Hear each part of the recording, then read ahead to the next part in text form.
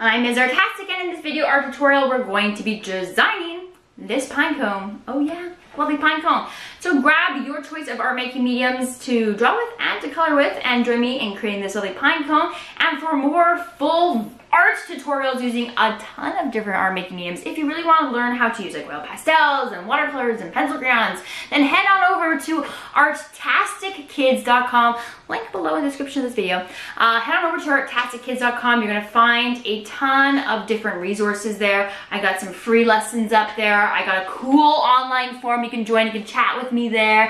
Um, and I also have a sweet membership that has a very low monthly price where you can access hundreds, a huge on-demand library of all my full art lesson tutorials, huge art lessons. So check it out at artastickids.com. And that being said, join me in drawing this lovely pine cone. Let's make some art.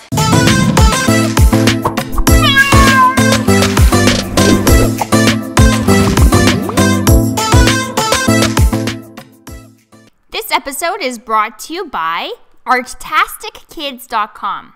If you're a parent, guardian, homeschool family, or a classroom teacher looking for art lessons and resources, begin your journey by finding free art lessons, tips, advice, and more at artastickids.com. All right, so we're going to be drawing a super cute pine cone. Kind of keeping the forest theme that we kind of have going on. So here we go. We're gonna do a nice little branch coming out. Whoosh. Bring it back in for a little point. Eh, maybe we'll do a nice little, eh, maybe a third one. Yeah, why not? Give it some character. All right, I'm gonna add some leaves on these two, but on the third, I'm gonna have my little pine cone friend coming down. So let's do that.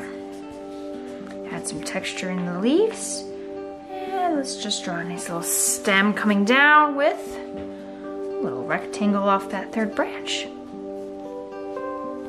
Okay, let's make it a, well, very wide sort of pine cone.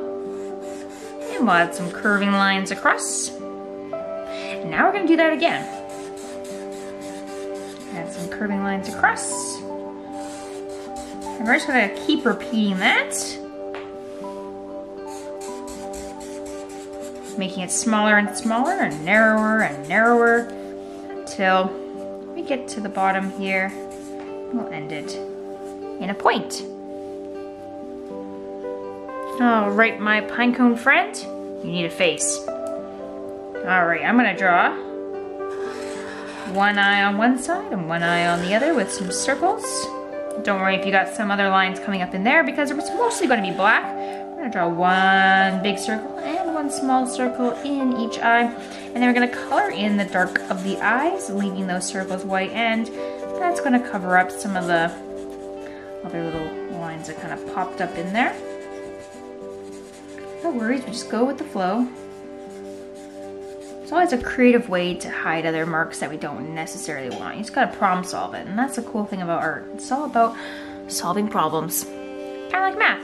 Okay, between the eyes, we're gonna draw a straight little line, and we're gonna connect that line with the letter U. And from one corner down to the bottom, we're gonna draw a curving line to make a tongue. And then we'll take our mark maker, whatever you're drawing with, and we're gonna color in the dark of the mouth, leaving your tongue nice and white. Beautiful. All right, let's add some character. Okay, let's add on some of these a secondary line, and we're gonna make them two colors. We'll maybe alternate types of browns there. And we can add some dash lines around the edge here for some texture, and maybe it's blowing in the wind, so we'll have some little character movement lines there. And because it's doing that, we'll do that on the, maybe on the leaves here as well. Add some character. Right, once you're done, you are ready to color. Now again, we are using two different browns on this, so we're gonna do some dark browns and some light browns to make it visually interesting, so it's not just some brown thing hanging in a tree. Want a little bit of character. So I'm gonna go ahead and color in some of these dark brown areas first, just doing the narrow stripes and the rest of it I'm gonna do lighter. And of course you can draw, or sorry, color in with anything that you would like.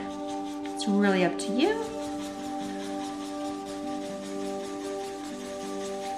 Anything you want to use to color, you use what you got.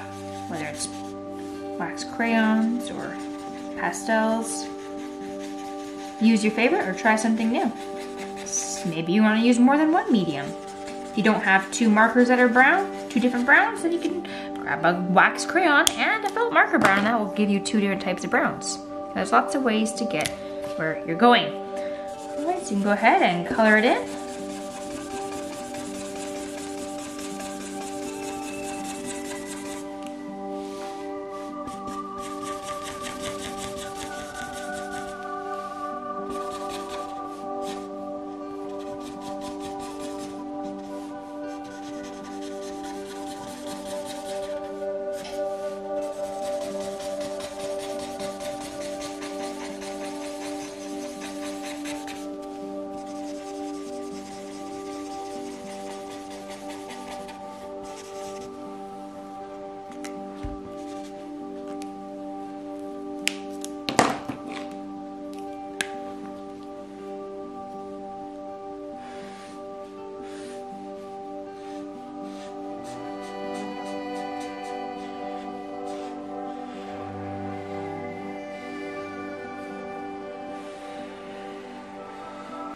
Well, that's it for this episode. Please make sure that you subscribe to the channel, Ms. Artastic. And if you create anything and share it online on social media, please, please, I would love to see it. So tag me at Ms. Artastic and I will check it out or join the community and conversation and use the hashtag, hashtag Ms. Artastic and I will check it out that way as well. And you can see what other people are creating who create with Ms.